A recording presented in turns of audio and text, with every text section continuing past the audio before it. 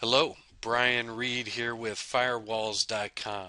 In this video, we're going to show you how to use a SonicWall firewall to block UltraSurf. UltraSurf is a common application that people will use to bypass local firewalls and content filtering devices to access websites on the internet that they wouldn't be able to otherwise. This is accomplished by using the built-in web application firewall within the SonicWall. Let me demonstrate how to perform this action within the admin console of the SonicWall.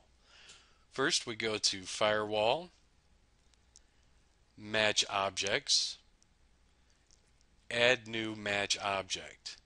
What we're going to do here is we're going to train the SonicWall how to identify the Ultra Surf application. So for the name, we'll just go ahead and type in UltraSurf. Match object type. We'll scroll down and select application list. For the category, it's going to be proxy access. And for the application, we're going to select encrypted. We'll select add and then go ahead and select OK. So now we've told the SonicWall how to identify the UltraSurf application. Now we want to create a rule and tell the firewall what it should do when it comes across this object. So we'll go to App Rules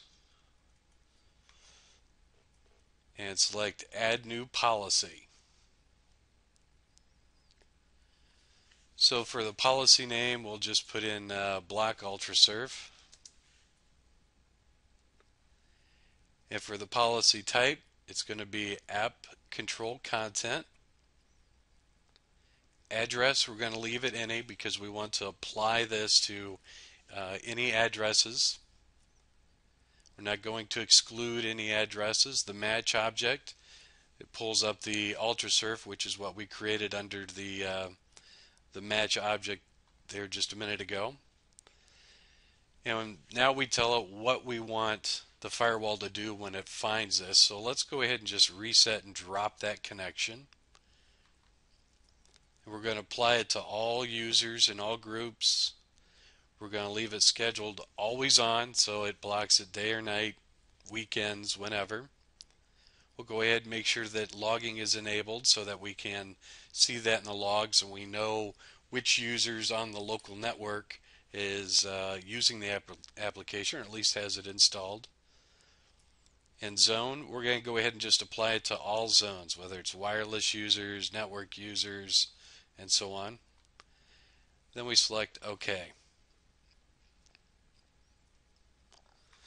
So as you can see, now we have our application rule policy in place where it's going to block the UltraSurf.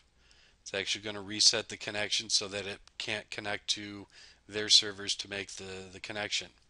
So to demonstrate, I'm going to go ahead and just disable this rule for right now. And I'm going to go ahead and open up UltraSurf. And as we can see, it's already uh, made the connection, it's gone green, and it's successfully connected to the server. So let's go ahead and exit that. Now we're going to go ahead and enable our rule. And we will open up UltraSurf again.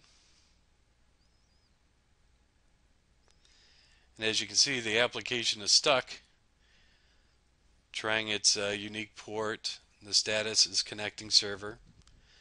And you can also see that this is uh, UltraSurf version uh, 10.03, which at the time of this video is the latest and greatest version that uh, they have out there. But I'm fairly confident that even if they come out with newer versions, the uh, application firewall that we created within the SonicWall firewall will still prevent that. Okay, and that's how you use a SonicWall firewall to block the UltraSurf application. Uh, if you have any questions or comments, please enter them in the section below. All right, we hope you found this useful. Take care.